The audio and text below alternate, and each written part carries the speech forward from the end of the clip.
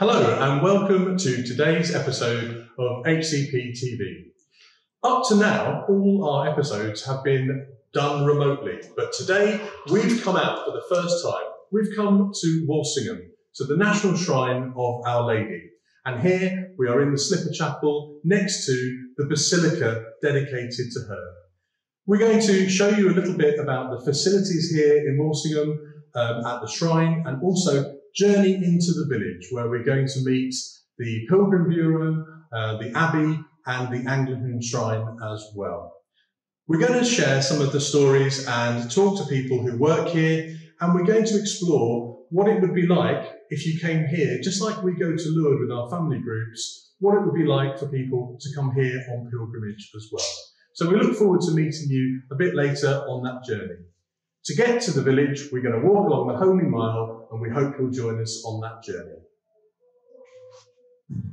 Slowly but surely, pilgrims are coming back to the shrine of Our Lady here in Walsingham. And behind me, you can see the building that is now the Basilica of Our Lady of Walsingham. Here in the grounds, we have the Stations of the Cross, the water fountain. There is also the Slipper Chapel, various other places, including a bookshop and cafeteria. I'm sure that as pilgrims all over the world begin to start their journeys of pilgrimage once again, we will be able to come here to Walsingham as friends um, from HCPT to friends here of our Shrine of Our Lady of Walsingham. We've come inside the Basilica Church of Our Lady of Walsingham we're going to show you a little bit of the grounds and the, the various things that are available for you to visit and see and experience if you come here on a pilgrimage. Behind me is the chapel where Mass is celebrated either indoors for three or four hundred people or for big days, the glass windows behind me open right up and the grounds are full of pilgrims worshipping together. We're now going to go and have a look at the statue of Our Lady of Walsingham. So here we have the statue dedicated to Our Lady of Walsingham. And just like when we're, we are in Lourdes, this is used and taken in procession from here to the, um, the shrine in the village, just like we have the procession in the afternoon in Lourdes and the torchlight procession in the evening in Lourdes. So come with me as we journey from the Slipper Chapel along the Holy Mile to the village of Walsingham.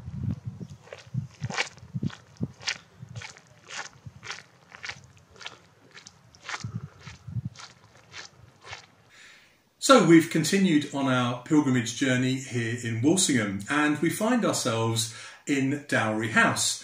And I'm delighted to say that we're here with Sister Gabriella. Sister, would you be able just to tell us a little bit about this place and what it is that you and your community are doing here?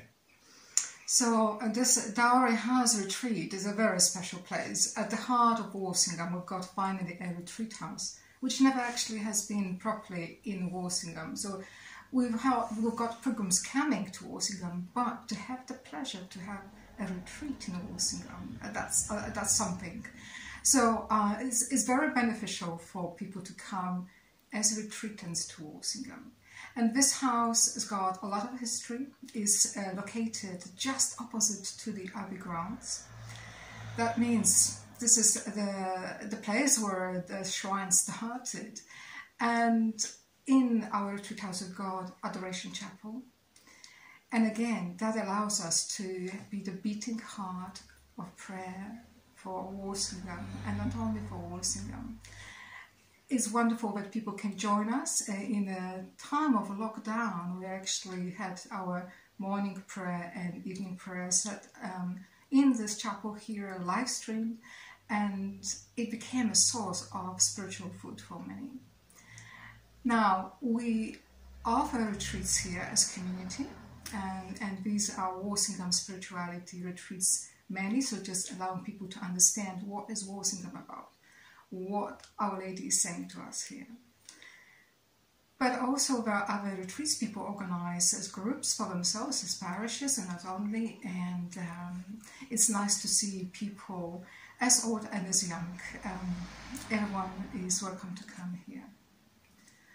Um, we are glad that at this moment uh, we can welcome people in flesh, in person, and uh, enjoy. Uh, actually, this this weekend we're having Walsingham spirituality, and we've got a nice group booked. Um, so it's for everyone to take the opportunity to come to Walsingham, to Our Lady's house, and feel in this retreat house as in her house, uh, and taste the, the, the quiet, meet Our Lady, meet the Lord, and there's something special here.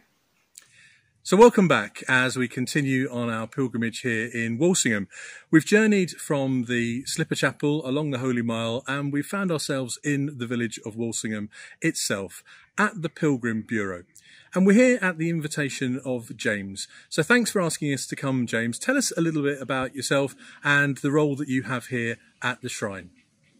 Well, I'm the outreach project coordinator here at the Shrine, and my outreach work is in answer to a call from the trustees of the Shrine to try and increase the diversity of people arriving at the Shrine to enjoy pilgrimage or retreats. So, this is uh, really to try and diversify in terms of ethnic minority, in terms of uh, abilities and disabilities, and in also to increase the amount of youth work that we do. Um, my role is therefore to try and reach out to groups who hadn't necessarily enjoyed a pilgrimage at Walsingham before.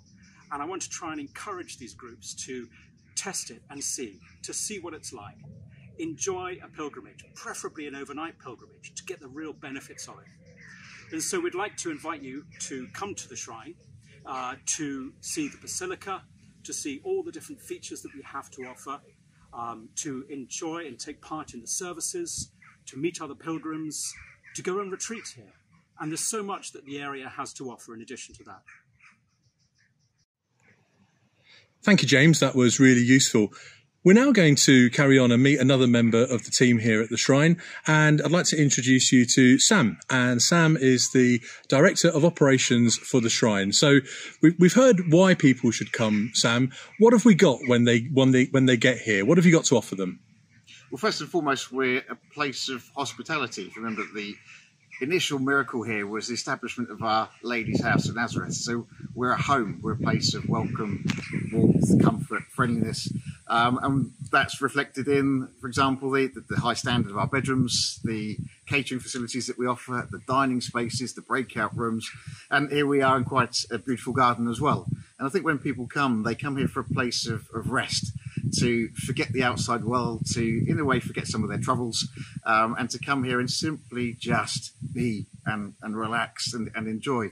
And I think as much as we have some very good facilities here, we also have this friendly welcome. So I think people are coming here to find rest at home. It's home from home, and that's what we endeavour to provide for everyone that comes.